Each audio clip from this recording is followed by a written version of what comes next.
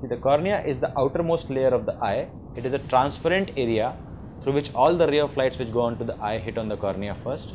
They get converged or focused by the cornea, go onto a lens and then go on to back to your retina. Now if there is any problem with the cornea, you will be having difficulty in seeing things clearly.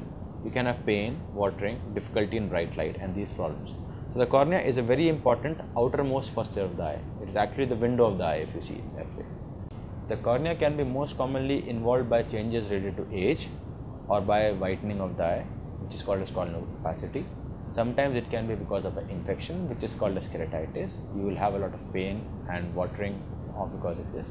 Another thing which is very common in this age group, in the younger age group, is something called as keratoconus in which the cornea becomes more conical and your powers keep on increasing too much. You have to wear thicker glasses as the time progresses.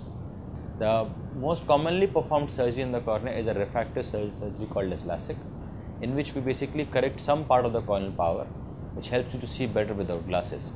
It's one of the most commonly performed procedures on the cornea. Other than that, this is for a norm, normal cornea, for a healthy cornea. If your cornea has a disease, there can be other surgeries like collagen cross-linking or keratoplasty which is called transplant which can be done on the cornea. LASIK has evolved. LASIK started off about 25 years back when we had something called as a microkeratome, a blade and it was like a standard procedure done for everybody the same way. You have the same power, we do the same LASIK for you. Last couple of years, LASIK has evolved drastically. We have something called as bladeless LASIK in which absolutely no blade is used on your eye. We use all laser technology which is very very precise. What we have with us is called as IntraLase, the procedure is called as iLASIK. Another advantage of iLASIK is that it is a customized procedure. It's like buying a suit which is tailor made to your shape you don't go off to the shelf and buy the suit which is just approximate to your shape. Same way, your eye is different. Each person's eye is different from the other person's.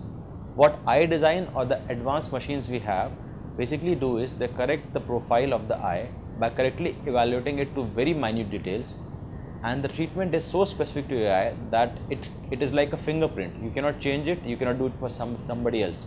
It is exactly fitting to your eye's profile. So these two advances, bladeless LASIK and customized treatment are the latest ones. Last couple of years, the results have been very good and patients are very, very satisfied with LASIK procedures, especially the iLASIK procedure. My advice to you will be that first of all, get a proper screening done. You have to be a good candidate for LASIK. If you're not a good candidate for LASIK, which happens in about 30% of people who wear glasses, we have to look at whether other options like implantable Collamer lenses, which are equally good but more suited to those patients who are not good candidates for LASIK, can be done for you. In about 10% cases, you will not be suitable for LASIK because of either the cornea being too thin or the power being too high or some other problem in the retina. In that case, you will not be a good candidate, you will have to wear glasses or contact lenses. But 90% of patients, 90% of people who come to us with the current technology we have can be taken up for elective vision correction which constitutes LASIK or ICL as an option.